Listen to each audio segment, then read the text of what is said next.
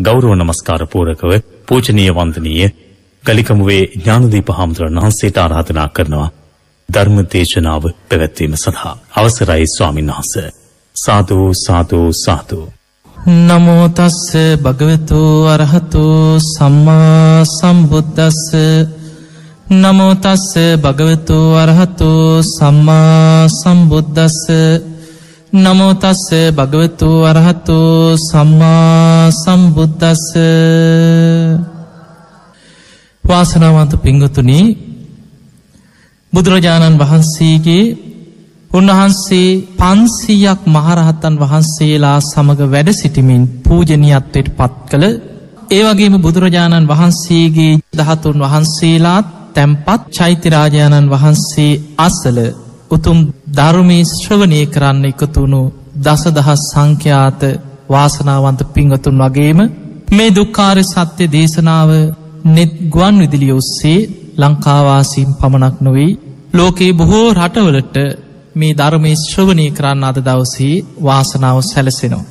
පිංගතුනී එදා ඇසලපුන් පොහෝ දවසේ බුදුරජාණන් වහන්සේ පස්වක භික්‍ෂූන් වහන්සේලා අමතලා ඉසිපතන මිගදාය නම් වූ බරණෙස ඒ පුුණ්‍ය භූමියේදී උන්වහන්සේගේ බුදු මුවෙන් මේ උතුම් දේශනාව ප්‍රථම කොට ගලාගෙන ගිය මෙන්න මේ ආකාරයට. දවේ මේ භික්කවේ අන්තා පබ්බජිතයන නසේවි තබ්බා. මහනෙන මේ ලෝකයේ කෙනෙකුට අනුගමනය කරන්න පුළුවන් අන්තයන් අතර පැවිද්දෙක් විසින් අනුගමනය නොකළ යුතු අන්තයන් දෙකක් තියෙනවා. යෝචායන් කාමේසු කාමසු කල්ලිකානු යෝගෝ.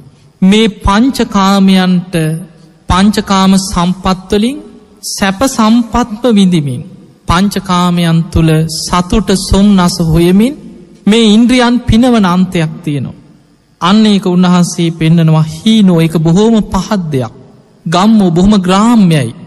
පෝතුජ්ජනිකෝ පෘතච්ජනයන් විසිම්ම සේවනය කර කර පංචකාමයන් තුළ සතුට සොම්නස හොය හොයා ඉන්ද්‍රියම් පිනවට අන්තයක්.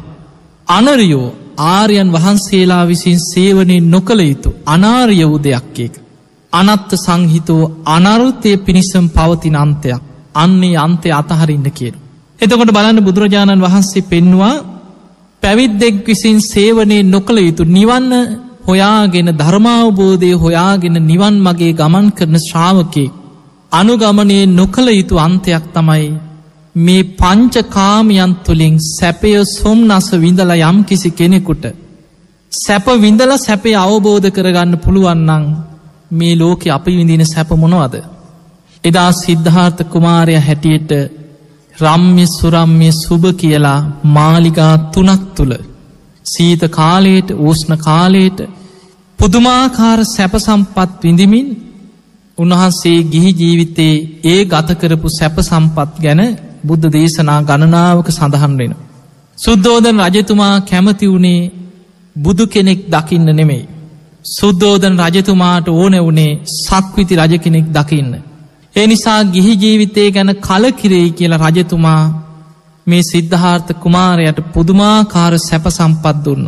එතකොට මේ සියලු සැප සම්පත් තුළින් තමන් අපේක්ෂා කරන විමුක්තියක් ලබන්න බෑ කියලා අවබෝධ වෙච්ච තැන තමයි උන්වහන්සේදා සතර පෙරනිමිති දැක්කට පස්සේ.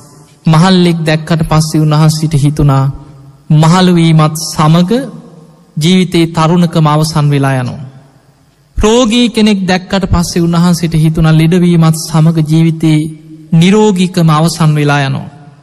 මළමිනියක් ඔසවාගෙන යන හඬා වැලපෙන පිරිසක් දැක්කට පස්සේ උන්වහන්සේට හිතුනා මරණයත් සමඟ ජීවිතය අවසන් වෙනවා. එහෙම නම් මොකක්ද මේ ජීවිතයේ තියෙන අර්ථය මේ ජරා මරණවලින් තොර විමුක්තියක් ලෝකයේ තියෙන්න්නට ඕනෑ. මේ ගැන හිත හිතා ඉන්න අතරේ තමයි එදා ශ්‍රමණ රූපයක් තමන්ට දකින්න ලැබුණ. තමන්ගේ හිතේ ගැන පුදුමාකාර පැහැදීමකට පත් වුණා. පුංචි රාහුල කුමාරය ඉපදිච්ච දවසේ වෙන තාත්ත කෙනෙක් නම් කොයි තරන් දරුසෙන හසකින් බැඳෙනවාද. එදා උන්වහන්සේගේ බුදු මුවින් උන්වහන්සේගේ බෝසතාණන් වහන්සේ නමක් හැටියට මුවින් පිට වනේ රාහුලෝ ජාතෝ බන්ධනන් ජාත රාහුලෙක් ඉපදිලා බැඳීමක් ඇති වුණානේද. මේ පංච කාම සම්පත්වල ඇතිවන බැඳීම ගැන එදා උන්වහන්සේට තේරුණා. ඒ නිසා තමයි මේ සියලු සැප සම්පත් අතහැරලා ලෝක සත්‍යයා කෙරෙහි උන්වහන්සේ කරුණාවෙන් සියලු සත්‍යයන් දුකින් මුදවන විමුක්තියක් හොයාගෙන මම මේ සියලු සැප සම්පත් අතහැරලා යනවාකින අධිෂ්ඨානය ඇති කරගෙන. චන්න ඇමතියා සමඟ කන්ත කසුපිට නැගලා. මේ මාලිගාවල් අතහැරලා යනකොට ආපසු හැරිල බැලුවෙනෑ. විමුක්තිය ලබාගෙන මිසක් මම ආපස්සට හැරෙන් නෑකින අධිෂ්ඨානයෙන් තමයි මේ සියල්ල අතහැරලගේ. තොන මේ තරන් සැප සම්පත් විඳලා පංචකාම සම්පත් විඳපු කෙනෙක්. උන්වහන්සේම බුද්ධත්වයට පත්වෙලා සියලු ධර්මයන් අවබෝධ කරගෙන අපිට කියල දෙනවා.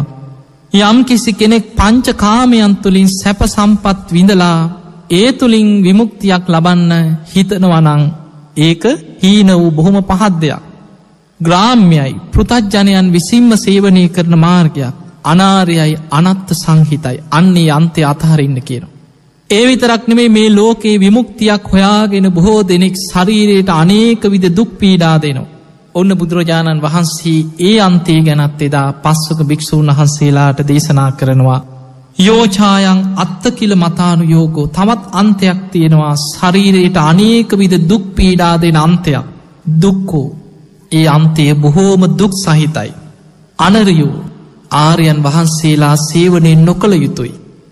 අනත්ත සංහිතෝ අනර්ථය පිණිස්සම පවතින අන්තයක්. අන්නේ අන්තයත් අතහරින්න කීවා.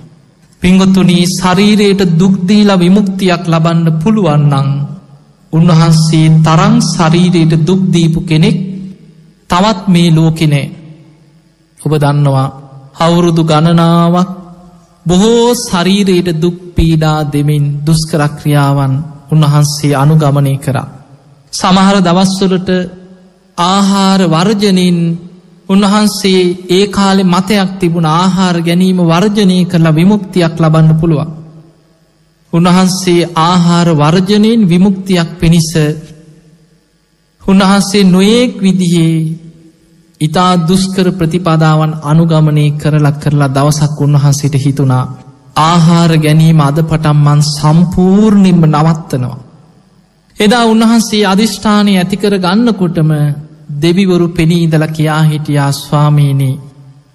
වීරයාණන් වහන්ස ඔබවහන්සේ මේ ගන්න වීරිය තුළ.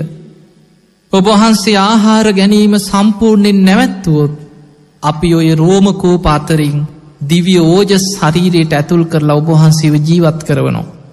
අන්න එදා උන්වහන්සේ තීරණය කරා මම යම් අධිෂ්ඨානයක් ඇතිකරගෙන ආහාර ගන්නේ නෑ කියලා යම් අධිෂ්ඨානයක් ඇතිකරගත්තොත් දෙවියන් ඒ කාන්තයෙන් මේ රෝමකූප අතරින් දිවි ඕජස් ඇතුල් කරනවා. එහෙම වුණොත් මගේ අධිෂ්ඨානය බොරුවක් බවට පත්වෙනවා. ඒ නිසා පාත්තරයට වැටෙන දෙයක් පමණක් මං මේ මොහොතේ පටන් ආහාර කරගන්නවා කියලා ඒ අධිෂ්ඨානය වෙනස් කරා. පිංගතුනේ බුද්ධත්වයට පත්වෙලා උන්වහන්සේ සාරිපුත්ත මහරහතන් වහන්සේට දේශනා කරන දේශනාවක් තියෙනවා උන්වහන්සේ දුස්කරක්‍රියා කරපු කාලය ගැන. බුදුරජාණන් වහන්සේ සාරිපුත්ත හාමුදුරුවන්ට කියනවා සාරිපුත්තේ ඒ කාලේ එක වී ඇටයකින් උන්වහන්සේ දවසක් ජීවත් වනා කියනවා. සාරිපුත්ත ඔබට හිතෙන්න්න පුළුවන් ඒ කාලෙ තිබ්බ වී ඇට මේ දැන්තියෙන වී ඇටයට වඩා ලොකුද කියලා. නෑ සාරිපුත්ත ඔය වී ඇටේ ප්‍රමාණය මයි කියන. සාරිපුත්ත එක මසං ගෙඩියකින් දවසක්ම උන්වහන්සේ ජීවත් වනා කියන. වෙන ආහාරයක් ගන්න ඇතුව. සාරිපුත්ත ඔබට හිතෙන්න පුළුවන් ඒ කාලේ ඒ තිබ්බ මසම් මීට වඩා විශාලයිද. එතකොට මේ වගේ උන්වහන්සේ ඉතා සුළු දෙයකින් අවසානි පාත්තරයට වැටෙන කොලයකින් ගෙඩියකින් උන්වහන්සේ තමන් ආහාර වර්ජනය කරලා බොහෝ දුස්කරක්‍රියාවන් කරා සමහර දවස්වොල්ට කලන්තය හැදිලා එහි මැදගෙන වැටෙනවා. බුදුරජාණන් වහන්සේ දේශනා කරන සාරිපුත්තේ දුස්කරක්‍රියා කරන කාලේ උන්වහන්සේගේ ඇස් දෙක හරියට වතුර හිඳිච්ච ලිදක් දිහා බලන්නකොට ලිම් පතුලක ජලය ටිකාක් පේන අන්නේ වගේ ඇස් දෙක හිස් කබල ඇතුළට ගිලුන කියනවා. පපුුව පිරිමදිනකොට කොඳු ඇට පේලි අහුවෙන අතට. හම වේලිලා පතුරු පතුරු ගැලවෙන්න පටන් ගත්තා. ඒ තරන් දුස්කර ජීවිතයක් ගත කරලා උන්වහන්සේට තේරුණා මම තරන් ශරීරයට දුක්දීපු කෙනෙක් තවත් නැතුව ඇති විමුක්තියක් ලබන්න පුළුවන්න. එදා උන්වහන්සේ දවසක් ආනාපාන සති භාවනාවත් මට නිවන් අවබෝධයට විමුක්තිය ලබන්න උපකාර වෙයිදෝ කියලා පුංචි කාලෙ දමරුක් සෙවනේ ආනාපාන සති භාවනාව වඩල පළවෙනි දෙහානයේ ලබාගෙන වාසය කරපු බව උන්වහන්සේට මතක් වුණා. ඒ නිසා දුස්කරක්‍රියා කරන අතරතුර මේ ආනාපාන සති භාවනාව වඩන්න හිතයොමු කරලා උන්වහන්සේගේ අවධානය හුස්ම රැල්ලට හිතයොමු කරනකොට හේම කලන්ති හැදුනා. භාවනා කරන්නත් ශරීර ශක්තියක් තියෙන්න්නට ඕනේ. එදා උන්වහන්සේ තීරණය කරා දුස්කරක්‍රියා කිරීම මම අතහරිනෝ. ටිකෙන් ටික භාවනා කරන්න ශරීර ශක්තිය ලැබෙනතෙක් ආහාරය පින්ඩ පාද ගිහිල දාන ටිකක් හොයාගන්නවා.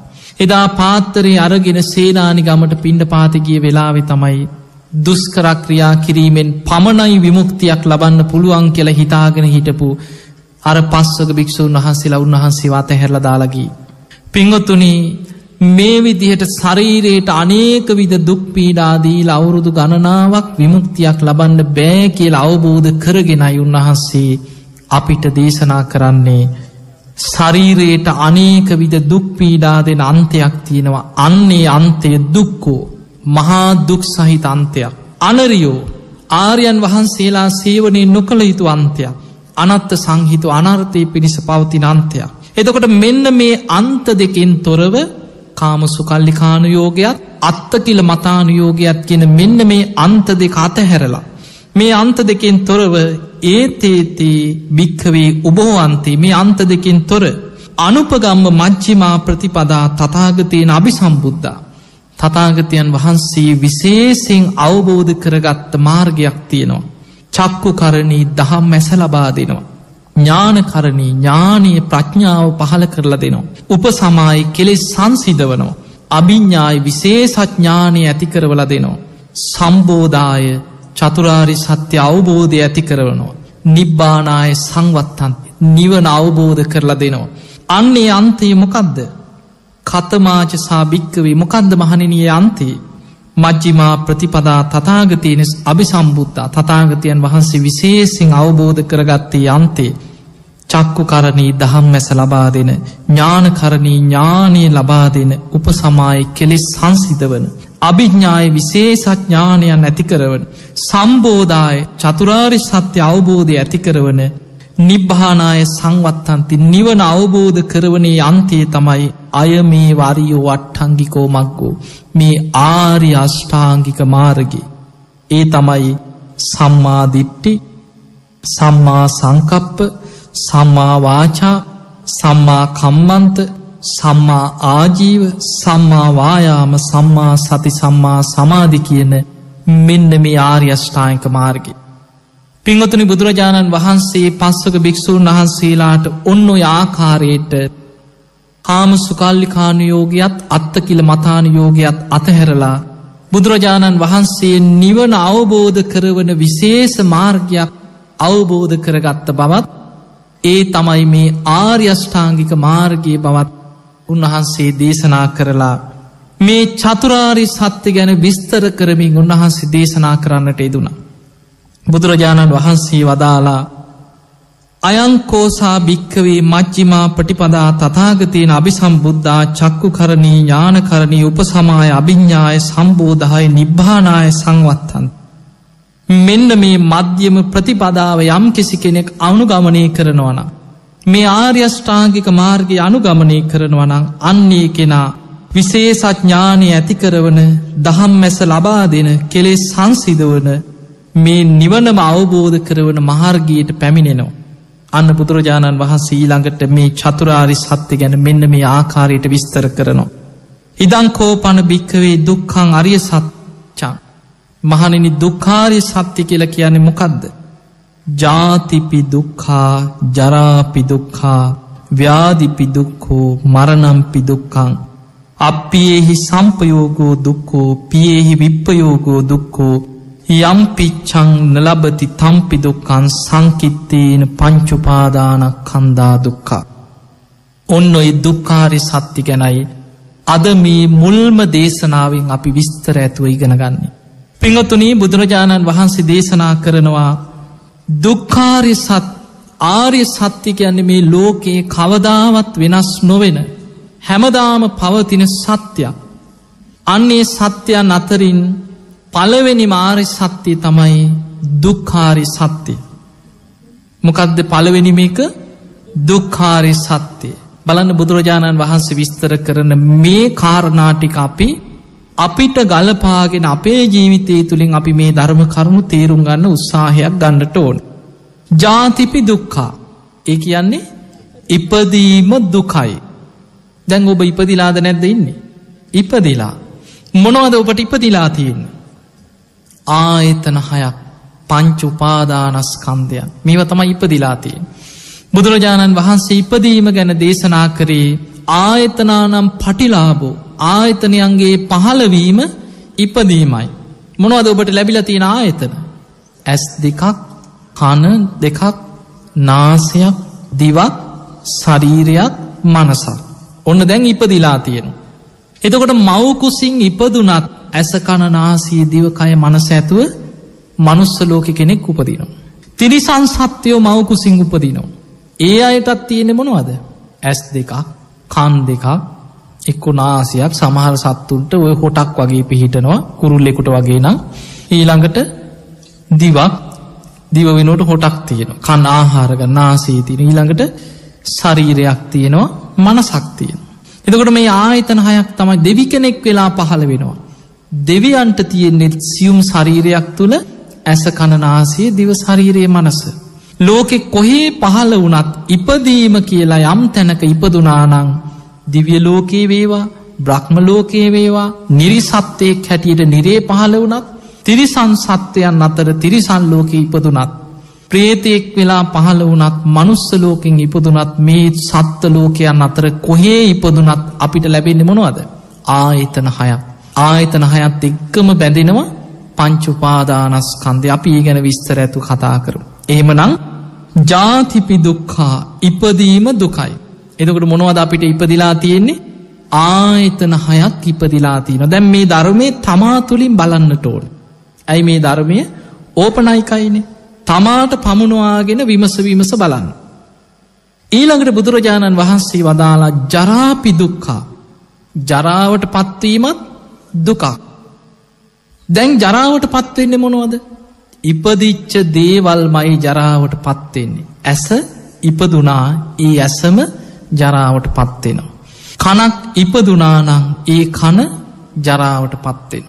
නාසේ ජරාවට පත්වෙන. දිව ජරාවට පත්වෙනවා ශරීරයම ජරාජීර්ණ වෙලා යනවා. මනස ජරාවට පත්වෙනවා. ඒ නිසා තමයි වයසට යන්න යන්න සිහි කල්පනාව නැතිවෙන. ඊළඟට ව්‍යාධිපිදුක්කු මොනවද ව්‍යාධයට පත්වෙන්. මේ ඇස කණ නාසේ දිවකය මනසමයි දැම් බලන්න ඉපදුනේ ඇස කණ නාසේ දිවකය මනසනං ලෙඩවෙන්නේ ඇස ලෙඩ වෙනවා. කන ලෙඩ වෙනවා. නාසය ලෙඩ වෙනවා. දිවී රෝග පීඩා හටගන්න. මේ ශරීරයට කොයි තරන්නං අනේක පිට රෝග පීඩාවන් නැති වෙනවද. ඊළඟට මනසලිට වෙන නොඒක් මානසික රෝග පීඩා හැදෙනවා. ඊළඟට වයසට යන මොනවද වයිසට යන්න. ඇස්ත ඒ නිසා තමයි වයිසට යන්න යන්න පෙනීම නැති වෙලා යන. කන වයිසට යන්න යන සමහරුන්ට ඇසීම දුර්වල වෙලා යන. නාසේ වයසට යන්න යන් සමහර වෙලාට ගඳ සුවඳුවත් අඳුන ගන්න බැරි තරමට වයසට ගියාට පස්සෙ කෙනෙකුට ජරාජීර්ණ වෙන. ඊළඟට ශරීරයේ වයසට ගිහිල්ලා දට්ටික හැලිලා හම රැලි වැටිල ඇවිද ගන්න බැරුව එක්තැන් වෙලා කොයි තරන්නන් දුක්විදිනවද. මනස වයිසට යන්න යන්න බොහෝ වෙලාවට ජරාජීර්ණ වෙලා යනු. එහෙම නං යම් ආයතන හයක් ඇතුව ඉපදුනානං වයසට යන්නෙත් ලෙඩවෙන්නෙත් මෙන්න මේ ආයතන හයමයි මේ ඇස කණනාසේ දිවකය මනසමයි ලෙඩවෙන්නෙත් වයිසට යන්නෙත්. ඊළඟට බුදුරජාණන් වහන්සේ දේශනා කරනවා මරනම්පි දුක්කා. මොනවද මැරෙන්නේ. අර ඉපදිච්චායතන හයමයි. ඇස මැරෙන සමහරලාවට ජීවත් වෙලා ඉන්න ඇද්දිත් ඇස මැරී යන ඇස් දෙක පේෙන් නැතු යනවා. ජීවත් වෙලා ඉන්න ඇද්දිත් කන් දෙක ඇහෙත් නැතුව යන්න පුළුවන්. ගඳ සුවද නොදැනෙන මට්ටමට ඥාසේ ජරාජීන සමහරුන්ගේ දිව රසයක් නොදැනෙන මට්ටමටම කුණු වෙලා යන. ඔබ දැකල ඇති උගුරු දන්ඩෙන් බටයක් දාලා සමහරුන්ට ආහාර පාන ශරීරයට ඇතුල් කරන රසයක් දැනෙනවද. ඊළඟට ජීවත්වෙලා ඉන්න ඇදි ශරීරයේ කොටසෙන් කොටස මැරි මැරි යනව කොටසෙන් කොටස සමහරුගේ කප කප අයින් කරන. එහෙමනං ජීවත්වෙලා ඉන්න ඇද්දිත් මේ ආයතනයකින් එක මැරිමැරි යනවා වගේම මේ ආයතන හයම එක පාරත් මරණයට පත්වෙනකොට ආයුස්මාච විඤ්ඥානං ආයු සවසන් වෙලා. ශරීරයේ තියෙන තේජෝ දහතුව බැහැර වෙලා විඤ්ඥානයේ ශරීරය අතහැරල ගියාට පත්සේ. වැඩකට ගන්න බැරි දර කඩක් දිරල දිරලක් කුණු වෙලා පස් වෙලා යනවා වගේ ශරීරයත් කුණු වෙලා පස් වෙලා යනවා. එහෙමනම් පිංගොතුනි මැරෙනවා කියලා මැරෙන් නෙත්මොනවද. මේ ආයතන හය අතහැරල තමයි විඤ්ඥානි ශරීරය අතහැරල බැහැරටයන් ඊට පස්සේ අපි කියනවා මැරුණා කිය. මේක දුකක් ඒ දුක නිසා අපි කොච්චර නම් බලන්න ඉපදිච්ච වෙලා විදං අපි හිතන වනේ මටනම් මේ වගේ දුක් සහිත ඉපදීමක් නම් ලැබෙන්න්න එපා කීකි අපි අඩනවා වැලපෙනවා දුක් විඳිනවා. හැබැයි අපි ඇඩුව වැලපුනා කියලා ඉපදීම නැතිකරගන්න පුළුවන්ද පුළුවන්කමක් නෑ. ඊළඟට ලෙඩ වෙනකොට අපි හිතනවනේ මට මේ වගේ ලෙඩරෝගනං හැදින් එපා කිය කිය අපි අණ්ඩනවා වැලපෙන. සමහර දුක්විදින ලෙඩ්ඩු දැක්කට පස්සේ අපිට හිතෙන වනේ මටනං උපවපන් ජාතිවත් මේ වගේ ලෙඩක් නං හැදෙන් එපා. ඒ අදහස හරිද වැරදිද. උපවපන් ජාතිවත් ඒ කියන්නේ ජාති ජාතිත් උපදින්න කැමති හැබැයි මේ වගේ ලෙඩක් නං හැතෙන්න එපා. හැබැයි ඉපදුනානං ලෙඩ වෙනවා කියන එක නැද්ද එතන. ජාතිපච්චයා ජරා මරණ. ඉපදුනානං අනිවාර්යෙන්ම ලෙඩ වෙනවා මයි. වයසට යනවා මයි මැරෙනවා මයි. එහෙමනං ලෙඩවෙන්නේ නැති වයසට යන්නේ නැති මැරෙන් නැති උපතක් ලෝකෙ තියෙනවද. ඒම ඉපදීමක් නෑ. ඒ නිසා පින්වතුනි කෙනෙක් මැරෙනකොට අපි කොච්චර අඩනවද. මැරෙන්න්න හදනය කොච්චර බැඳ වැඳා කියනවද අනේ බුදු ඩොක්ට මට මැරෙන්ඩ බෑ මාව බේර ගනිල්ලා කියකි කොච්චර අඩනවද. වැලපෙනවද මරණයෙන් බේරෙන්න්න කොච්චර උත්සාහ කරනවාද. හැබැයි උපන් සත්‍යයාට නොමැරීන්න පුළුවන්ද. නත්ති ජාතස් සාමරණ. ඉපදිච්ච කිසිම කෙනෙකුට ලෝකේ නොමැරීන්න පුළුවන්කමක් නෑ. ඉපදුනානං ඒ කාන්තෙම්ම රජෙක්වුණත් සිටුවරයෙක්වුණත් කවුරුණත් හැම කෙනාම මැරෙනවාමයි ඒක ලෝක ධර්මතාවයක්. පිංගතුනි දෙවියන් පවා දිව්‍ය ලෝකවලින් චුත වෙනවා. බලන්න කෙනෙකුට හිතන්න පුළුවන් මේ මනුස්ස ලෝකයේ තමයි මේ ජරා මරණ තියෙන ජරාවට පත්වෙන්නේ. නෑ පිංහතුනි දෙවියනුත් ජරාවට පත්වෙනවා. දෙවියන්ගේ ජරාවට පත්වීම ගැන ධර්මී සඳහන් වෙනවා. දෙවියන් ජරාවට පත්වෙනකොට දිව්‍ය ආවිස අවසන් වෙනකොට දිවිය මල්මාලා පරවෙනවා. දිවිය ශරීරවලින් දහඩිය වැගිරෙන්න්න පටන්ගන්නවා. දිවිය ශරීර දුරුවරණ වෙලා යනවා. දිවිය සලුපිලි කිලුටු වෙනවා දෙවියන්ගේ විමානවල සිත් අලවන්නේ නැතුව යනවා. මේ ලක්ෂණ පහල වෙනකොට අනිත් දෙවිවරු දැනගන්නවා මේ කෙනා දැන් දිවිය ලෝකෙන් චුත වෙන්න යන්න.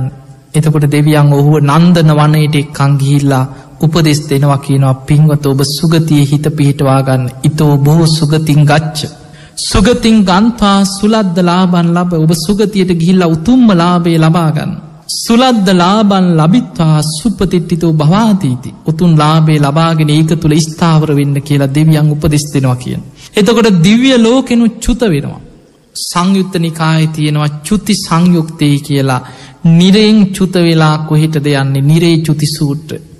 බොහෝ නිරෙන් චුත වෙන අය ආයායමත් නිරේම දුක් සහිත නිරේම උපදිනවා. ඉතා සුළු පිරිසයි සුගතියකට ඇදිලයන්න. තිරච්චාන චුතිසූට්‍ර බුදුරජාණන් වහන්ස පෙන්වා තිරිසන් ලෝකෝලින් චුතවෙන අයගෙන් විශාල පිරිසක් ආයායමත් තිරිසන් සතුන් අතරම දුක්විදින ලෝකවලම උපදිනවා. ඉතා සුළු පිරිසයි නිය සිලට ගත්ත පස් වගේ පිරිසක් සුගතීකටෙන්. ප්‍රේත චුතිසූට්‍ර බුදුරජාණන් වහන්ස පෙන්වා ප්‍රේත ලෝකෙ දුක්විඳලා දුක්හිඳලා චුතවෙන ප්‍රේතයන්ගෙන් විශාල පිරිසක් ආයායමත් සතරාපායට වැටෙනවා. ඉතා සුළු පිරිසයි සුගතීකට යන්න. එහෙමනං මනුස්ස චුති දිවියස් චුති බ්‍රහ්ම චුති ආදී සූට දේශනාවල පෙන්න්නනවා මනුස්්‍යයොත් චුත වෙනවා. මැරෙනෝ. දෙවියනුත් චුත වෙනවා. බ්‍රහ්ම ලෝක ඉපදුනත් ආවි සවසන් වෙනකට චුත වෙනවා. උපන්නා වූ සෑම සත්වයෙක්ම මරණයට පත්වෙනවා මයි. ඊළඟට බුදුරජාණන් වහන්සේ පෙන්නවා පියෙහි විප්පයෝගෝ දුක්කෝ ඉපදුනාට පස්සේ ලැබෙන ඊළඟදේ තමයි ප්‍රියයන්ගෙන් වෙන් වෙන්න සිද්ධ වෙන. ඒක තමයි අපිට දරාගන්නම බැරි දුක.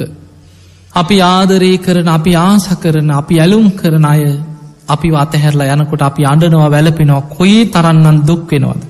අපි කොයි තරං ඇඩුවත් වැලපුනත් ඒ අය ආයමත් එනවද. නෑ අපි අතහැරලා යනවා. ප්‍රිය සෑම දේකීම සබ්බේහිමේ පියෙහි මනාපේහි නානාබහෝ විනාබහෝ. සියලු ප්‍රියමනාප දේවල් වලින් වෙනස් වෙලා යනවා විපරි නහමයට පත්වෙනවා ඒ ගැන තියෙන ආසාාව අතහැර ගණඩ වෙනවා. ඒක ලෝක ධර්මතාවයක්. ඒම නම් ප්‍රියමනාප දේවල් අපි කොච්චර ඇලුම් කරත් මේ සියල් අපිට අතහරින්න වෙනවා මයි. ඊළඟට බුදුරජාණන් වහන්සේ දේශනා කරනවා අපියෙහි සම්පයෝගෝ දුක්කෝ. දුකට අයිති තවත් දෙයක් තමයි අපි අප්‍රිය කරන අමනා පයත් එක්ක එකට ජීවත්වෙන ලැබීම එකට ඇසුරු කරන්න ලැබීමත් දුකක්. ඊළඟට උන්වහන්සේ පෙන්නනවා යම් පිච්චන්න ලබති තම්පි දුක්කා යමක් කැමතිනං ඒදේ නොලැබීමත් දුකක්. දැන් අපි මේක මේ විදියට තේරුම් ගන්නට ඕන. කැමතිදේ නොලැබීම දුකක් කෙනෙකුට හිතෙන්ට පුළුවන් මම වාහනයක් ගන්න ආසයි මට සල්ලිනේ. කැමතිදේ නොලැබෙනවා. ඒක දුකක්. එහෙම දෙයක් නෙමෙයි බුදුරජාණන් වහන්සේ මෙතනදි පෙන්න්න. උන්වහස පෙන්නන්නේ උපන්නා වූ සත්වයා කැමති අනේ මම නම් මේ වගේ දුක් සහිත ලෝකවල ආයමත් උපදින්න එපා කියලා කැමති වෙනවා. හැබැයි තමන් කැමති වුණා කියලා උපදින් නැතුව ඉන්නවද. නෑ අන්න කැමතිදේ නොලැබීමේ දුක. එතකොට ලෙඩ වෙනකොට ඔහු කැමතියෙන අනේ මටනම් මේ වගේ ලෙඩරෝග හැදෙන් එපා කියලා නමුත් ඉපදුනානං අනිවාරයෙන්ම ලෙඩරෝග හැදෙනවා තමන් කැමති වුනා කියලා ලෙඩ නොවීන්න පුළුවන්කමක් නෑ අන්න කැමතිදී නොලැබීමේ දුක. ඊළඟට මරණයට පත්වෙනකොට වයසට යනකොට වයසට යන් නැතුව ඉන්න කොච්චර උත්සාහ කරනවත්. මොන තරං උපක්‍රම යොදනවත්. මොන තරං උත්සාහ කරත් මොන තරං උපක්‍රම යෙදුවත් වයසට යනයකින් වලකින්න පුළුවන්. අනිවාරයෙන් කෙස්ටික පැහෙනවා. හම රැලි වැටෙනවා. ජරාජීර්ණ වෙනවා. වයසට යනයකින් වලකින්න පුළුවන්කමක්නේ අන්න කැමතිදී නොලැබීමේ දුක. මරණය ලංවෙනකොට අනේ මම නන් දැම්ම නං මැරෙනෙන්න එපා මට තව බොහෝ කාලයක් ජීවත්වෙන්න ලැබේවා කියකි අපි කොච්චර දේවල් කරනවත් දීර්ඝාවිෂ ලැබේවා කියකි. හැබැයි පින්ගොතුනී අපි කවුරුත් ඉපදුනානං ඒ කාන්තේ මරණයට පත්වෙනවා මයි නොමැරීන්න පුළුවන්කමක් නෑ අන්න කැමතිදි නොලැබීමේ දුක.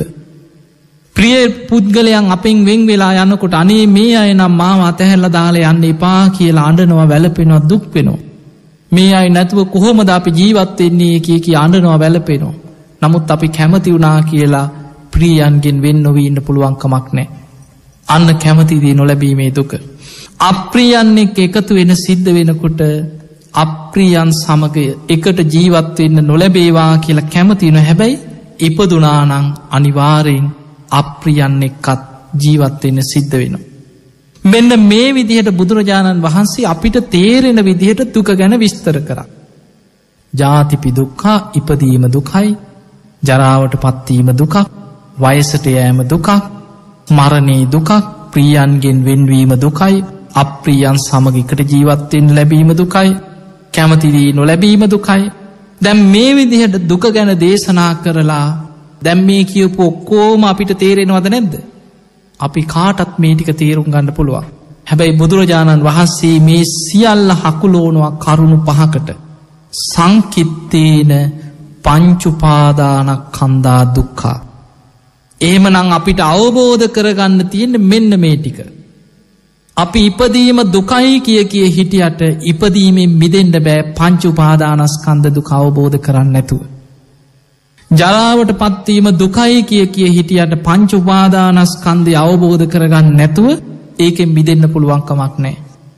වයසට යාම දුකයි කිය කිය කොච්චර කිව්වත්.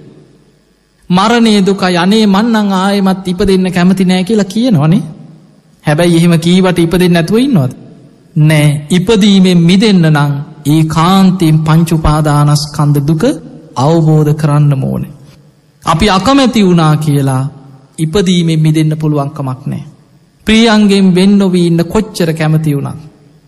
අප්‍රියන් සමගෙක් නොවේවා කියල කොච්චර හිතුවත්.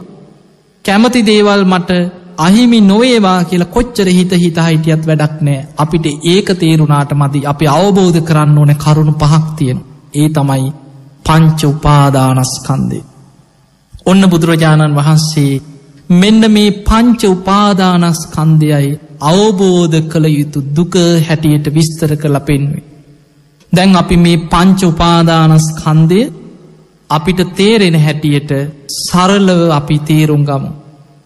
පළවෙනි උපාදානස්කන්ද කොටස තමයි රූප උපාදානස්කන්දේ පංචුපාදානස්කන්දය කියන්නේ රූප උපාදානස්කන්දය වේදනාවපාදානස්කන්දය සංඥාවපාදානස්කන්දය සංස්කාරඋපාදානස්කන්දය විඤ්ඥානුපාදානස්කන්දය කියන මේ පහ.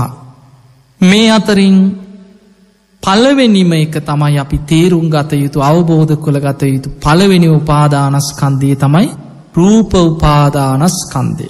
රූපය. මොකදද මේ රූපය කියලා කියන්න. බුදුරජාණන් වහන්සේ රූපේ විග්‍රහ කරන්නේ රුප්පතීතිකෝ භික්කවේ තස්මා රූපන්ති උච්චති. අන්න බුදුරජාණන් වහන්සේ රූපය විස්තර කරනවා. නැසී වැනසී යනවා. සීතලෙන් උණුසුමෙන් තුන්දොස් කිපීමෙන් වාපිත්සෙම් කුපිතවීමෙන් නැසී වැනසී යනවා මේ රූපේ. මේ සතර මහා ධාතුන්ගෙන් හටගත්ත ශරීරයේ තමයි රූපය කියල බුදුරජාණන් වහන්සේ විස්තර කරත්. බොහම ලස්සන උපමාවක් තියෙනවා. කනු හතරක් හිටවල ඒකට රීප්ප බැඳලා වරිච්චි බැඳලා මැටි ගහලා වහලයක් සෙවිලි කර. ඊට පස්සේ දොරක් උළුවස්සක් ජනේලයක් හයිකරාට පස්සේ අපි මේකට මොකක්ද කියන්න. ගේ කියලා කියනවා. අන්නේ වගේ ඇට සැකිල්ලක් නහරවැල්ලොලින් ඔතලා මස්ලේ තවරල හමකින් වැැහුවට පස්සේ මෙන්න මේකට කියනවා රූපය කියල කියනම්. අන්න බලන්න රූපයට කොච්චර ලස්සන විග්‍රහයක්. මේ රූපය හැදිලා තියෙන්නේ මොන ඇන්ද. පටවී ආපෝ තේජෝ වායෝ කියන සතර මහා ධාතුන්ගෙන් තමයි රූපය හටගන්න. මේ සතර මහා ධාතුන්ගෙන් හටගත්ත රූපය එහෙමනම් දැම් බලන්න ඕන තමන් දිහා. ඉපදීම දුකයි කියනකොට ඔබම කියා හිටියා ඔබට ඉපදිලා තියෙන මොනවද. ඇස කන නාසය දිව ශරීරයේ මනස. මෙන්න මේ ආයතන හයකින් යුක්ත ශරීරයේ තුළ ඔය රූපය තියෙනවා. ඔය ශරීරයේම හැදුනේ පටවි ආපෝ තේජෝ වායෝ කියන සතර මහා ධාතුූන්ගේ. පිංවතුනි බුදුරජාණන් වහන්සේ පටවි දහතුව. තමාස් තුළත් තියෙනවා බාහිරත් තියෙනවා. ආධ්‍යාත්මිකවත් බාහිරත් පටවි දහතු තියෙනවා. ආධ්‍යාත්මික පටවී දහතුව බුදුරජාණන් වහන්සේ මේ විදිහට පෙන්නල දෙනවා. කෙස් රෝමකූප නියපොතු දත් සම මස් නහර ඇට ඇටමිදුළු වකුගඩු හදවත අක්මාව බඩදිව පෙන්හළු අසූචි ආදී මේ ශරීරයේ තියෙනවා සතර මහා ධාතුන්ගෙන්මයි මේ වහටගන්න හැබැයි පටවි ගතිය වැඩි. ඒවෑ ගොරෝසු ස්භාවය ගණගතිය පටවි ගතිය වැඩි. හැබැයි මේ හැදිල තියෙන්නේෙත් පටව්‍යාපෝ තේජෝවායෝ කියන සතර මහා ධාතුන්ගේ මහටගත්තත් පටවිස භාවී වැඩි නිසාපීවට කියනවා පටවී දහතු පස් වෙලා යන ස්භාවයට අයිති දේවල්. එතකොට මේ ශරීරයේ පටවිධාතු හැටියට කොටස් විස්සක් බුදුරජාණන් වහන්සේ බෙදල පෙන්න්න. කෙස්ලොම්නිය දත්තාදී කොටස් විස්සක් බුදුරජාණන් වහන්සේ පෙන්නවා. ඊළඟට බුදුරජාණන් වහන්සේ පෙන්න්නනවා අපේම ශරීරයේ තුළ තියෙනවා සතර මහා ධාතුන්ගෙන්මයි හටගන්නේ හැබැයි ආපෝ ස්භාවී වැඩි වැගිරෙන ස්භාවී වැඩි දේවල් පිත සෙම සැරව ලේ දහඩිය කඳුළු උරුණු තෙල් මුට්්‍ර ආදී ශරීරේද තුදුරතින වැගිරෙන දේවල්. ගලාගෙන යන සභාමින් යුතු දේව. එවැනි කොටස් දොළහක් බුදුරජාණන් වහන්සේ පෙන්නවා මූලික වසේ. එතකොට අපේ ශරීරය හැදෙන්නේ සතර මහාධාතුන්ගෙන්ම ඒවත් හටගන්න හැබැයි මේ තුළ වැගිරෙන ස්භාවී වැඩි නිසා ඒවා අපි ආපෝධාතු හැටියට හඳුන්නන. ඊළඟට ඔබේ ශරීරය තුළම තියෙනවා උණුසුමක් කණබුණ ආහාරපාන දිරවන්නේ උණුසුමක් නිසා. ශරීරය දවසින් දවස වයසට යන්නේ උණුසුමක් නිසා. ඊළඟට කය දවනව සන්තප්පන තේජෝ ජාතුව ජීරණ තේජෝ ධාතු පාචක තේජෝ ධාතුව. මේ විදිහට තේජෝ ධාතුව කොටස් හතරකට බුදුරජාණන් වහන්සේ පෙන්න්නනවා උණුසුම. මේ ශරීරයේ පුරාම බැසගත්ත උණුසුමක් තියෙන ඊළඟට පිංවතුනේ මේ ශරීරයත් එක්ක බැඳිච්ච සතර මහා ධාතුන්ගෙන් හැදුනත් වායෝ ස්භාවය වැඩි දේවල්තිය. ඔබට ෑනුම් යනවා ඉක්කා වැටිනවා ඔබේ උඩු අතට ගමන් කරන වාතයක් තින උද්දංගමාවාතා. මේ ශරීරයේ බඩවැල්ලොල හැදිල පසු පසින් වායෝ දහතුව පිට වෙලා යන අදෝගමාවාතා. කුසේ පිරිච්ච වාතයක් තින කුච්චිසේ ආවාතා. ශරීරයේ පුරා අතපයි හොළුවන්න අවේ අව සොළුවන්න උපකාර අංගමංගානු සාරිනවාත අපිට ඇවිදින්න පවා පුළුවන්ගෙන මේ වායෝ දහතුව නිසා. ඊළඟට ආශ්වාස ප්‍රශ්වාස කරන වාතය පවා අශ්වාස ප්‍රශ්වාසවාතා ශරීරයත් එක්ක බැඳිච්ච දෙයක්. මේ විදියට වායෝ ධාතුව කොටස් හයකට බුදුරජාණන් වහන්සේ බෙදල පෙන්න්නන. එතකොට මේ ශරීරයේ තුළ පටවි ආපෝ තේජෝ වායෝ කියන සතර මහා ධාතු පටවිධාතු කොටස් විස්සක් ආපෝධාතු කොටස් දොළහක් තේජෝධාතුවට අයිති කොටස් හතරක් වායුධාතුවට අයිති කොටස් හයක්. ඔක්කොම හතලිස් දෙහෙකට බුදුරජාණන් වහන්සේ මූලික වසයෙන් බෙදවා. බෙදල බුදුරජාණන් වහන්සේ පෙන්න්නනම් මෙන්න මේ සතර මහා ධාතුන්ගේ මූලික ධාතු ස්වභාවය බලන්. ඒවා සතර මහා ධාතු හැටියට බලන්න. ඊළඟට මේවා පස් වෙලා යන හැටි දියවෙලා යන වැගිරිලා යන හැටි බලන්න. මේ උණුසුම උණුසුමට එකතු වෙනවා ධාතු මනසිකාරය හැටියට බලන සතර සතිපට්ඨානෙ කායානු පස්සනා කොටසේම පෙන්නන්නේ සතර මහා ධාතුන්ගෙන් හටගත්ත මේ රූපයේ අතාස භාවය අවබෝධ වෙන හැටියට හිත පිහිටෝල භාවනා වඩනා කාරි පිළිකුල් හැටියට බලන්න පුළුව. මලකුණක් කුණු වෙලා යනකොට වෙන දේ හොඳට රූපයේ අතාස භාවය අනුව සිහිකර කර විමසන්න පුළුව. මේ විදිහට රූපේ ගැන ඔබ හොඳට විමසනවනන් සතර මහා ධාතුන්ගෙන් හටගත්ත මගේ ශරීරී මේ රූපේ ඇත්තම ස්භාවය මොකක්ද.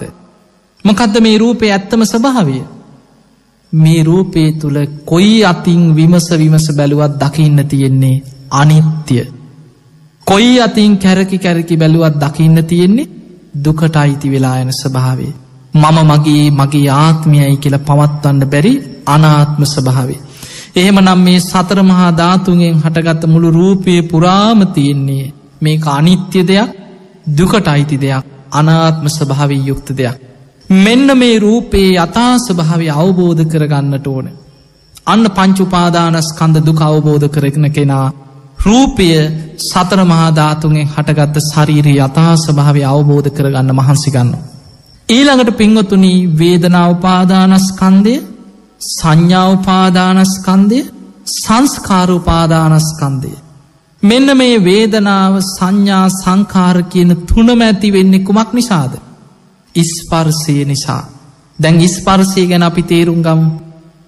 දැන් ඔබම කියා හිටියා ඔබට ඉපදිලා තියෙන මොනවද ඇස කන නාසය දිව ශරීරයේ මනස කියන ආහිතන හයක් ඔබට ඉපදුන. එහෙමනං ඔබේ ඇහැට රූපයක් පේන්නේ කොහොමද. ඇසයි රූපයයි විඤ්ඥානයයි එකතුවීමේ. මේකට අපි කියනවා ඉස්පර්සය තින්නන් සංගති පස්සු කරුණු තුනක එකතුවීම ඉස්පර්සයයි. මෙන්න මේ ඇසයි රූපයයි විඤ්ඥානයයි එකතුවීම නම් වූ ඉස්පර්සය නිසා ඇති වෙනවා විඳීම. අන්නේ විදීම වේදනාවපාදානස්කන්දය. ඒ විදින රූපය අපි ඇහෙන් හඳුනගන්නවා ඒක තමයි සංඥාව සංඥාවපාදානස්කන්දේ. හඳුනගන්න රූපය ගැන අපි චේතනාවක් පහල කරනවා අන්නේ චේතනාව තමයි සංස්කාරුපාදානස්කන්දේ. එහෙම නම් මේ රූපෝපාදානස්කන්දේ වේදනා සංඥා මේ ඔක්කොම ඇති වුණේ කොමක් තුළද. ඇහැ තුළ එනං ඇහැ හටගෙන තියෙන මොනු ඇන්ද. සතර මහාධාතුන්. එහෙම නං මේ පංච උපාදානස්කන්දේම හැදෙන්නෙ කොහෙද ඇස කණ නාසේ දිවකය මනසකින් ආයතන ඔස්සීම හැදෙනවා. එහෙම නං රූපය සතර මහාධාතුන්ගෙන් හටගත්ත දෙයක්ම යැස. ඇහැ තුළ ඇහැයි රූපයයි විඤ්ඥාන එකතුවීම නම් වූ ඇසේ ස්පර්සය නිසා වේදනාවපාදානස්කන්දේ සංඥාවපාදානස්කන්දේ සංස්කාරුපාදානස්කන්දය හටගන්න. ඊළඟට විඤ්ඥානුපාදානස්කන්දී කියල පංචුපාදානස්කන්දී ගැන විස්තර කරනකොට විඤ්ඥානයේ පස්වෙනියට අපි කතා කරන්නේ විඤ්ඥානය අන්තිමට හැදෙන නිසා නෙමේ. විඤ්ඥානය කියන්න මේ රූප වේදනා සංඥා සංකාර කියන මේ හැම දෙයක් එක්කම බැඳිච්ච හැමදේකටම මුල්වෙන මේ රූපවේදනා සංඥා සංස්කාරවල බැසගත්ත නිසාපි විඤ්ඥානය පස්වෙනියට කතා කර. සංයුත්තනිකායි බීජ සූට්‍ර බුදුරජාණන් වහන්සේ වදාළ රූපයෙන් තොර වේදනාවෙන් තොර සංඥාවෙන් තොර සංස්කාරවලින් තොර තනිව පවතින විඤ්ඥානයක් තනිව ගමන් කරන විඤ්ඥානයක් හෝ තනිව වැඩෙන විඤ්ඥානයක් හෝ තනිව විපුල භාවයට පත්වෙන විඤ්ඥානයක් බුදු ඇසිංවත් දකින්නේ නෑ කියල්. හෙමනං විඤ්ඥානි හැම වෙලාවෙම රූපවේදනා සංඥා සංස්කාර ඇසුරු කරගෙන අයිතියෙන්. දැන් ඔබ ඇහැ ගැන හිතන්න ඇහැයි රූපයයි එකතු කරලා දුන්නේ මොකෙන්ද. විඤ්ඥානයේ විඤ්ඥානය කැන දැනගැන් විජානාතීතිකෝත් භික්කවේ තස්මා විඤ්ඥානන්ති උච්චති දැනගන්නවා දැනගන්නවා කියන අර්ථීන් විඤ්ඥානය කියෙන්. එතකොට ඇහැයි රූපයයි එකතු කරලා ස්පර්සය ඇති කරන්නෙම විඤ්ඥානයෙන් තම ඒ රූපි දැනගන්න. අන්නේ දැන ස්පර්සයත් එක්ක විඤ්ඥානය බැඳෙනකොට ඒ ස්පර්සය නිසාම නං විඳීම ඇති වෙන්නේ ස්පර්සය නිසාම නම් විදින දේවල් හඳුනගන්නේ. ඒ ස්පර්සය නිසාම නං චේතනාවක් පහළ වෙන්නේ හැතුළ ඒ වේදනා සංඥා චේතනා තුළ විඤ්ඥානය පවතින් නැත්ත විඤ්ඥානය පවතිනෝ. අන්නේ නිසා ඇහැමුල් කරගෙන පංච උපාදානස්කන්දයක්ම හටගන්නවා. ඊළඟට ඔය වගේමයි කනමුල් කරගෙනත් පංච උපාදානස්කන්දයක් හැදෙනවා. දැන් ඔබ මේ විදියට බලන්න කනට සබ්දයක් ඇහෙන්නේ කොහොමද කනයි සබ්දයයි විඤ්ඥානයයි එකතුවීම නිසා තමයි කනට සබ්දයක් ඇහෙන්.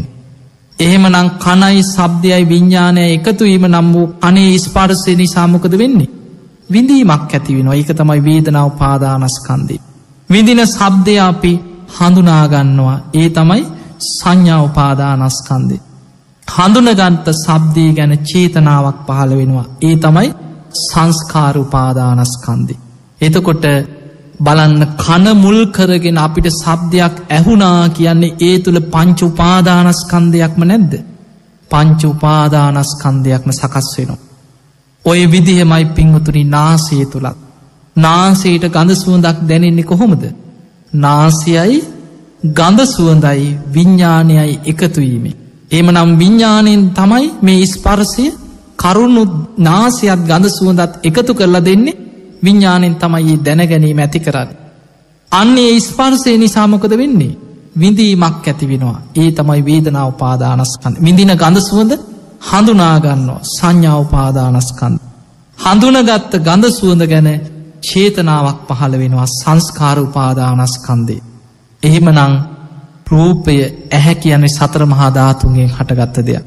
ඇහේ ස්පර්සය නිසා වේදනා සංඥා චේතන ඇති වෙනවා එමනම් විඤ්ඥානය මේ ඔක්කොමත් එක්ක බැඳෙනකොට ඇහැත් මේ නාසය තුළත් පංචුපාදානස්කන්දයක්ම නැද්ද තියෙනවා. ඊළඟට දිව ගැනත් හිතන්න ඔය වගේ. දිවට රස්සයක් දැනෙන්නේ කොහොමද. දිවයි රස්සයයි විඤ්ඥානය එකතු වෙන්නට ඕන්. දිවයි රස්සයයි විඤ්ඥානය එකතු වෙනකොට ඒ ඇතිවන ස්පර්සය නිසාමොකද වෙන්නේ විඳීමක් ඇති වෙන. එක්කො සැපවිඳීම එක්කො දුක් සහිත විඳීම එක්කො දුක් සැපරහිත විඳීම. අන්නේ විඳීම වේදනාව පාදානස්කන්දේ. විඳින්න රසාපි හඳුනගන්නවා මේක තිත්ත රස ඇඹුල් රස පැණි රස මේ හඳුනගන්නේ සංඥාවෙන් ඒ තමයි සංඥාව පාදානස්කන්දේ. හඳුනාගත්ත රසේ ගැන චේතනාවක් පහළ වෙනවා ඒ චේතනාව සංස්කාරූපාදානස්කන්දේ. එහෙමනං දිවට රස්සයක් දැනෙනකොටම ඒ තුළ පංච උපාදානස්කන්දයක්ම හටගන්න. පිංහතුනි කයට පහසක් දැනෙනවා කියලා කියන්නේ කයයි පහසයි විඤ්ඥානයයි එකතුවීම. අන්නේ කයයි පහසයි විඤ්ඥානයයි එකතු වෙනකොට ඒකට අපි කියනවා කයේ ඉස්පරසය. ඒ කයේ ඉස්පාර්සය නිසා විඳීමක් ඇති වෙනවා. එක්කො සැපවිඳීමක් දුක්විඳීමක් උපේක්ෂාවිඳීමක් ඒ තමයි වේදනාව පාදානස්කන්දේ කය මුල් කරගෙන හටගන්න. විඳින පහස හඳුනාගන්න. ඒ තමයි සංඥාවපාදානස්කන්දය හඳුනාගැනීම හඳුනගත්ත පහස ගැන චේතනාවක් පහළ වෙනවා සංස්කාරුපාදානස්කන්දේ. එහෙමනං කයට පහසක් දැනෙනවා කියලා කියන්නේ ඒ තුළ පංච උපාදානස්කන්දයක්ම සකස් වෙනවා. පිංහතුනි මනසට අරමුණක් එන්නේ මම හිතුවා මට හිතුණ මං මේක හිතන අපි ඔය මොනව කිව්වත් හිතට යම් අරමුණක් එනවානං අපිට යමක් හිතුනන. ඒ හැම වෙලාවෙම මොකක්ද වෙන්නේ. මනසයි අරමුණයි විඤ්ඥානයයි එකතු වෙනවා හිතේ. ඒ මනසත් අරමුණත් විඤ්ඥානයක් එකතු වෙනකොට ඒක තමයි අපි කියන්නේ මනසේ ඉස්පර්සේ. අන්නේ ඉස්පර්සය තුළින් මනස තුළ විඳීමක් ඇතිවෙන. දුක් විඳීමක් ඇතිවෙනකොට තනියෙන් හිත හිතා අපි අඩනවා. සැපවිඳීන් ඇතිවෙනකොට තනියෙන් හිනා යනව යමක් මතක් කියලා. දුක් සැප රහිත විඳීනුත් උපදිනවා. ඒ තමයි වේදනාව පාදානස්කන්දේ. ඒ ඇතිවන විඳීම අපි හඳුනාගන්න අරමුණු හඳුනාගන්න ඒ තමයි සංඥා උපාදානස්කන්දේ. හඳුනගත්ත අරමුණු ගැන චේතනා පහළ වෙනවා. හිතෙන් හිතන හැම සිතුවිල්ලක් ගැනම චේතනාවක් පහළ වෙනවා සංස්කාර උපාදානස්කන්දේ. එහෙම නං මනසට යමක් හිතුනානං මනසට යම් අරමුණක්කාවානං ඒ අරමුණත් එක්ක විඤ්ඥානය එකතු වෙනකොටම පංච උපාදානස්කන්දයක්ම මනසේ හැදෙනු. එහෙම නම් දැන් ඔන්න පින්වතුනී දුක්කාරය සත්‍ය ගැන දැන් ඔබට සරලව තේරෙන්න්නට ඕනෑ. ඉතා සරලවයි ඔබට මේ ටික කියල දුන්න. මොකන්ද දුක කියලා බුදුරජාණන් වහන්සේ දේශනා කරේ. ජාතිපි දුක්කා ඉපදීම දුකක් ආයතන හයක් කිපදුනා ආයතනානම් පටිලාබ. ජරාපිදුක්කම් මේ ආයතන හයමයි ජරාවට පත්වවෙන්නේ ඒකත් දුකක්. ව්‍යාධිපිදුක්කෝ ව්‍යාධයට පත්වෙන්නෙත් මේ ආයතන හයමයි. මරනම් පිදුක්කං මරණයට පත්වෙන්නෙත් ආයතන හයමයි. ප්‍රියන්ගෙන් වෙන්වීමත් දුකක්. අප්‍රියන් සමග එකතුවීමත් දුකක්. කැමතිදී නොලැබීමත් දුකක්. මේ විදියට දුක විස්තර කරපු බුදුරජාණන් වහන්සේ කරුණු පහකට හැකිලුවා.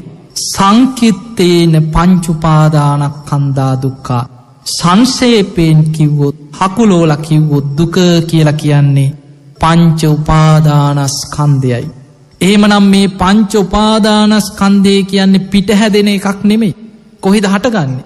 අර ඉපදිච්ච ආහිතන හයිමයි ඇස තුළ ඇතිවෙනවා පංච උපාදානස්කන්දයක්. කනේ හටගන්නවා පංච උපාදානස්කන්දේ. නාසේ හටගන්නවා පංච උපාදානස්කන්දේ. දිව තුළ හටගන්නවා පංච උපාදානස්කන්දේ. ශරීරයේ තුළ හටගන්නවා පංච උපාදානස්කන්දේ. මනසේ හටගන්නවා පංචුපාදානස්කන්. එහෙනං ඉපදිච්චාහිතන හය තුළමයි පංචුපාදානස්කන්දීම හැදෙන්. මෙන්න මේ පංච උපාදානස්කන්දයයි දුක හැටියට අපි අවබෝධ කරන්නට තියෙන්.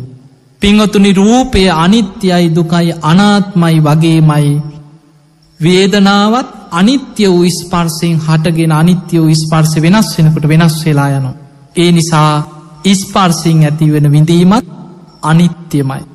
ඒ ස්පර්සයෙන්ම හටගන්න හඳුනා ගැනීමත් අනිත්‍යයි. ඒ ස්පර්සිං ඇතිවන චේතනාවත් අනිත්‍යයි. ඊළඟට නාමරූපයන්ම නිසා තමයි විඤ්ඥානයක් හටගන්න. නාමරූපයන් හැන් හටගන්න විඤ්ඥානයක් අනිත්‍යය යමක් අනිත්‍යන යන් නිච්චං තන්දුක්කං යමක් අනිත්‍යනං ඒක ඒ කාන්තෙන් දුකක්. යමක් අනිත්‍යයි නම් දුකයි නං ඒක මම මගේ මගේ ආත්මයයි කියලා පිළිගන්න පුළුවන්කමක් නෑ. ඒක අනාත්ම දෙයක් වෙනස් වෙලා යන නැසී වෙනසී යනවා ඒ ගැන තියෙන ආසාාව අපිට අතහැරගන්න සිද්ධ වෙනවාමයි. මෙන්න මේ පංච උපාදානස්කන්දය අපි හොඳට තේරුම් ගන්නට ඕන. කොහේ ඉපදුනත් දිවියලෝකෙ පහළ වනත් ආයතන හයක් නම් පහළ වෙන්නේ ඒ තුළ පංච උපාදානස්කන්දයක් හැදෙනවාමයි. බ්‍රහ්මලෝකෙ පහළ වනත් ආයතන හයක් නම් පහළ වෙන්නේ ඒ තුළ පංචුපාදානස්කන්දයක් හැදෙනවා. නිරේ ඉපදුනත් නිරිසත්තයෙක් හැටියට ආයතන හයක් නම් පහළ වෙන්න ඒ තුළ පංචුපාදානස්කන්දය හැදෙනවා. තිරිසන් සත්‍යයෙක් හැටියට උපදිනකොට තිරිසන් සත්වයාටත් ලැබුණේ ඇස කණනාසේ දිවකය මනසනං ඒ තුළ පංචුපාදානස්කන්දය හැදෙනවා.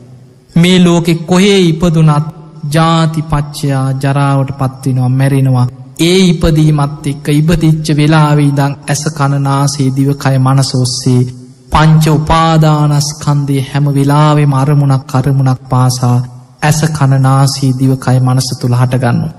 මෙන්න මේ පංච උපාදානස්කන්දය දුකයි කියල අපිට යම් දවස අවබෝධ කරගන්න පුළුවන් වුණාන. අන්න අපි ඒ දුක අවබෝධ කිරීමෙන්ම දුකෙන් මිදෙනවා.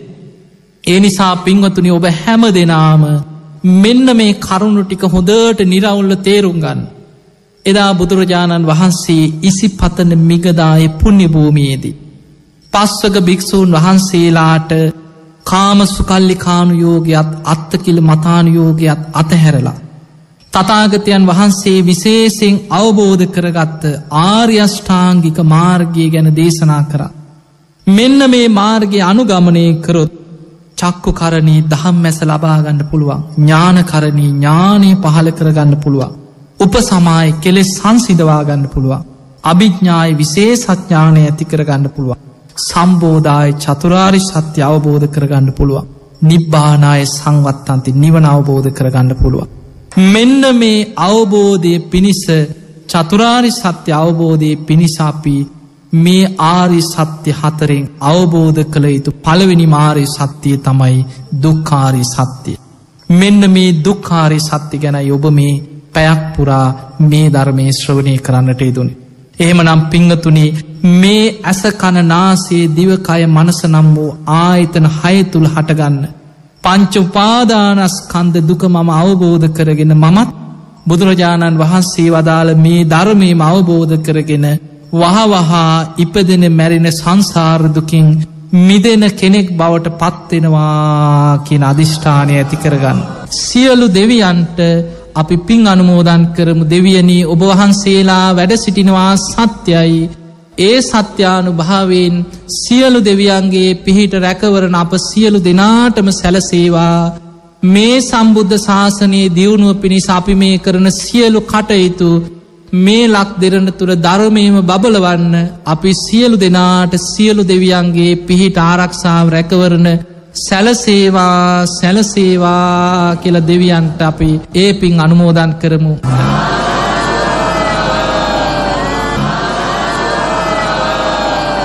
මේ උතුම් චෛතිරාජයාණන් වහන්සේට මාගේ නමස්කාරය වේවා කියල සාධකාරත. සාධූ සාධූ සා